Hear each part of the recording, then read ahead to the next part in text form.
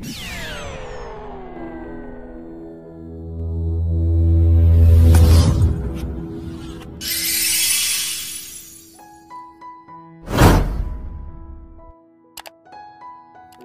ketemu lagi dengan channel cerita serial. Nah, di sini ada persamaan trigonometri ya. Persamaannya sekan kuadrat x ditambah kosekan kuadrat x per sekan x dikali kosekan x. Nah, di sini yang perlu kita perhatikan rumus-rumusnya itu sekan. Sekan x itu artinya seper cos ya. Sedangkan rumus kosekan itu rumusnya seper sin. Jadi kita ubah aja nih sekannya itu kita ubah menjadi seperkos ya. Jadi seperkos kuadrat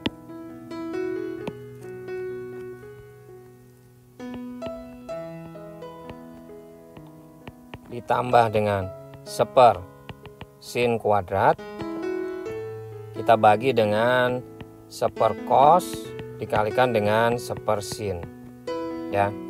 Nah, ini kita buat di sebelah kanan aja ya. Terus udah gitu kita samain penyebutnya.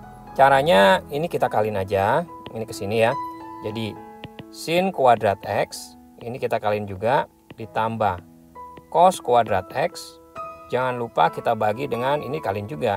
Jadi sin kuadrat kali cos kuadrat gitu ya. Kita bagi dengan Nah, karena ini perkalian, kalau perkalian nggak usah dikali ke sana sama ke sana ya. Jadi langsung aja satu dikali satu itu satu dibagi dengan uh, cos x dikali sin x. Jadi sin x cos x. Ya, dibolak-balik sama aja. Nah, karena dia pembagian berarti bentuk yang ini nih kita bagi dengan yang ini ya. Kalau dibagi berarti kita bisa buat menjadi begini. Dan jangan lupa juga nih, ini ada rumus lagi sin kuadrat x ditambah cos kuadrat x itu nilainya adalah satu. Jadi yang bagian atas ini kita bisa buat menjadi berapa? Satu ya nilainya. Jadi satu per sin kuadrat x cos kuadrat x dibagi. Kalau dibagi, kalau kita mau jadi kali, itu jadinya dibalik ya. Jadi sin x cos x per satu. Oke, seperti itu ya. Nah, Terus jadinya apa nih? Uh, sin X dikali cos X per sin kuadrat X dikali cos kuadrat X. Karena ini soalnya adalah ABCD, jadi ini sebenarnya harus kita cari supaya menemukan yang seperti ini gitu ya. Masalahnya di ABCD ini nggak ada ya. Jadi kita harus pintar-pintar juga sih untuk ngubahnya ya. Nah ini bisa kita buat jadi sebenarnya kalau kita jeli ya boleh juga dicoba satu-satu atau dicurigain yang mana ABCD-nya. Atau kita bisa buat seperti ini.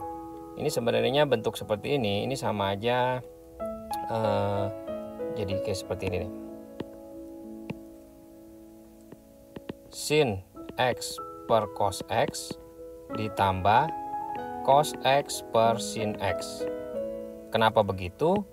Kalau misalnya kita balikin ke sini, ini jadinya uh, sin kuadrat X ini kalau dikali sono jadi ditambah cos kuadrat x gitu ya. Per ini jadi apa? Sin x cos x. Oh berarti kenapa mesti uh, seperti ini? Karena di sini kita bisa ubah sin per cos itu jadi tangan tangan x ya. Cos per sinnya itu jadi cotan ya kotangan. Ini pilihannya sebenarnya jadi yang D ya paling kalau enggak kita uh, cut aja ya. Jadi di sini kita diemin aja nih nggak usah diubah jadi satu. Jadi ini sin kuadrat x ditambah cos kuadrat x per sin kuadrat x kali cos kuadrat x. Ini kita hapus saja ya. Ini sebenarnya kita udah jawaban udah tahu ya. Uh, dibalik aja ini dibalik jadi dikali sin x dikali cos x. Ini kan ada dua nih di sini ada satu bisa dicoret kan ya masih ada satu biji ya masih ada sin x. Jadi yang ini juga sama nih. Jadi tinggal sin kuadrat x ditambah cos kuadrat x per sin x dikali cos x.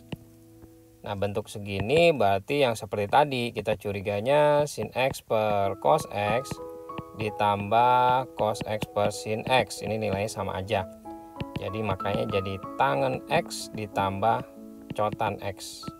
Kayak gitu ya. Karena cos persin itu kotan ya. Kalau simple cos itu tangan. Nah jadi jawabannya adalah yang D. Seperti itu.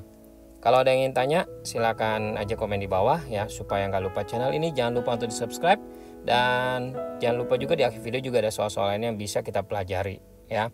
Sampai ketemu di video lainnya oke? okay?